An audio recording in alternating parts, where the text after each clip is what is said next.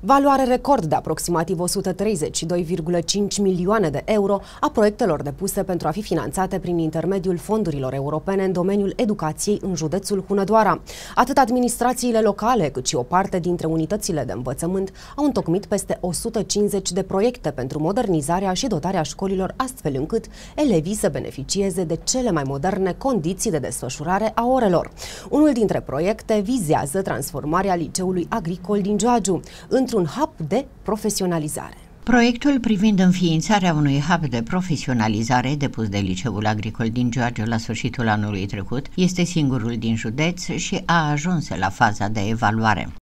Liceul Tehnologic Agricol Alexandru Borja din Giorgio a depus uh, un proiect pentru dedicat liceelor agricole pe o linie de finanțare prin PNRR Uh, și uh, în acest moment uh, știm că proiectul nostru a trecut de faza de evaluare a eligibilității, urmează evaluarea calitativă a proiectului și sperăm noi că în cel mai scurt timp să putem să ajungem și la implementarea acestuia, valoarea totală a proiectului fiind de 650.000 de euro fără TVA. Proiectul aduce un plus liceului pentru că uh, are în vedere dezvoltarea liceului ca și hub uh, uh, agricol, dacă vreți, și um, în, în cadrul acestui proiect am cuprins mai multe investiții, printre care un tractor, o combină, un cabinet veterinar, un atelier mecanic, o fermă de hidroponie, și panouri fotovoltaice pentru eficientizarea energetică